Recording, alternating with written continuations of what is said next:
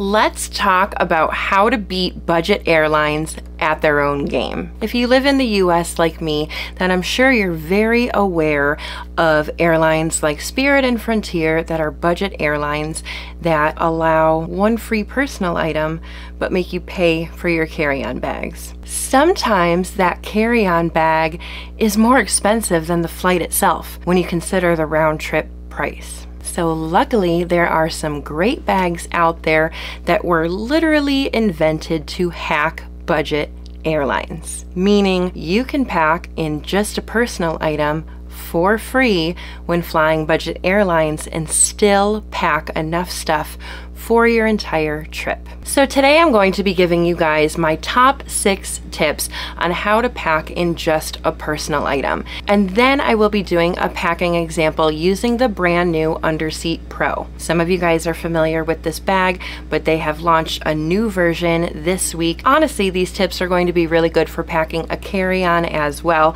You're just gonna have to be a little bit more strict with a personal item because it is a little bit smaller. So, if you want to pack personal item only, here are your six tips. We're going to have to have a little chat. Stay tuned to the end of the video where I follow my own tips and pack everything I need in this little bag. And it fits under the seat.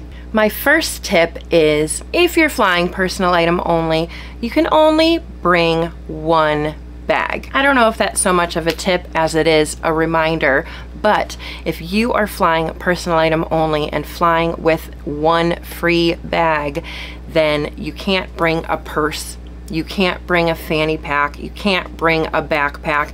It's only the one bag. I've seen people do this all the time and they get caught at the gate and they are forced to pay extra money. You either need to take that purse and put it in that personal item or you have to pay extra. Can you put stuff in your pockets? Of course you can.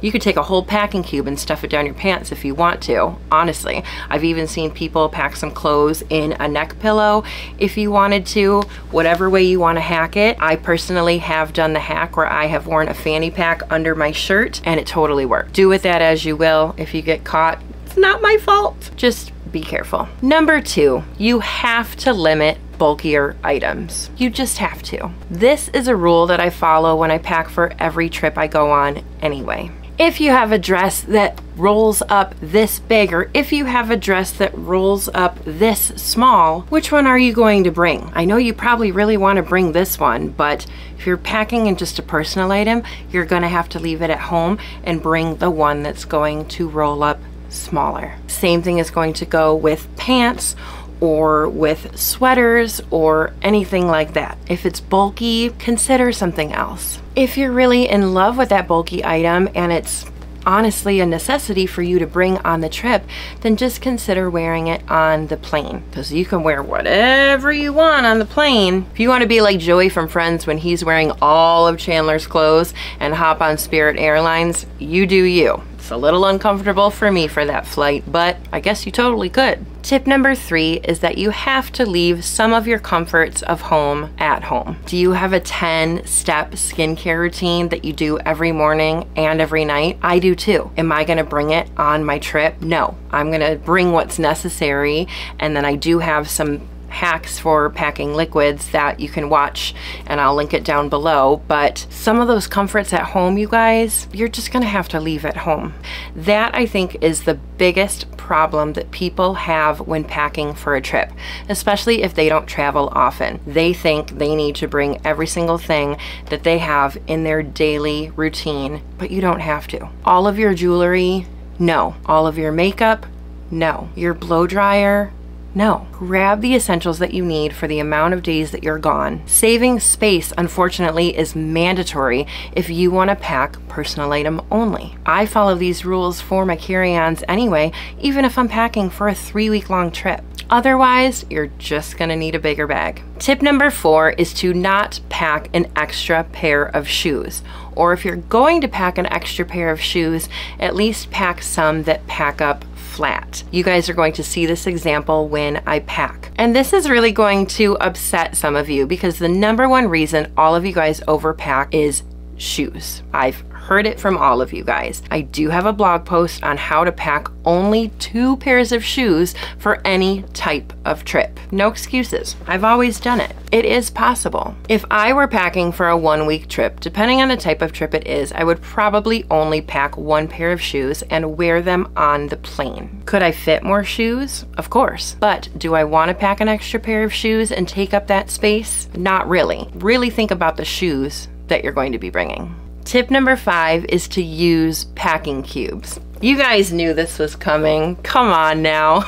Some of you guys may debate me, but if you've been a fan of this channel for long enough, you know I always use packing cubes. Whether they're packing cubes, whether they're compression cubes, my stuff is always in a packing cube and it is organized. If you don't want to use it, that's fine, but think about this real quick. You are only bringing one bag. That means you have your clothes, your underwear, your electronics, your wallet, your phone, your toiletries, everything. You're gonna put your toiletries in a bag, so just put your clothes in a bag too. If you have to go and find your you know, iPhone cord and you have to go through 11 pieces of clothing to find it. No, just put them in a packing cube. It's going to save space and it's going to organize you. I promise. Tip number six is our last tip of the day, and that is no surprise to some of you, pack a capsule wardrobe. You guys knew I was gonna say this one too, but it's just so true. This is mind blowing to some of you guys, and this is something I've been doing for many, many, many, many years, and I'm about to show you an example. A capsule wardrobe is when all of your tops match all of your bottoms so that you can mix and match to create several outfits. And then I kind of have a little bit of a color scheme. So then my shoes are going to match all of the outfits. My accessories are going to match all of the outfits. Not only am I going to have enough clothes to wear on my trip, but I'm going to have options. Even with my bathing suits, I pack two tops and two bottoms that can be interchangeable so that I have several different options to wear. It just makes sense, you guys. Here is an example of four different bottoms and seven different tops. And as you can see here, it makes 28 different outfits. Am I going to wear all 28 outfits on this trip? Most likely not. But am I going to have a ton of options every morning or every evening when I'm going to get dressed for wherever I may be going on this trip? Yes. And that is the best part. If you want a more in-depth tutorial as to how to pick out your capsule wardrobe and pack it, I do have a video for that and I will put it in the description down below. All right, it's time to pack. You ready? Let's do it. Everything in the capsule wardrobe is going to go into this medium-sized packing cube, except for what I'm wearing right now. It's part of the capsule wardrobe. I've got the wide leg jeans and I've got the short sleeve sweater. These I will wear on the plane. Everything else I showed you is going to fit in here. One, two, three, four, five, six, seven, eight, nine. So there you have it, our capsule wardrobe in this medium-sized packing cube. Now, honestly too, if I'm going somewhere where it's kind of chilly and I need a jacket or I need some sort of sweater or cardigan, I will wear it with this on the plane as well. Now, let's get our Underseat Pro foldable bag out and we will start to pack everything in it.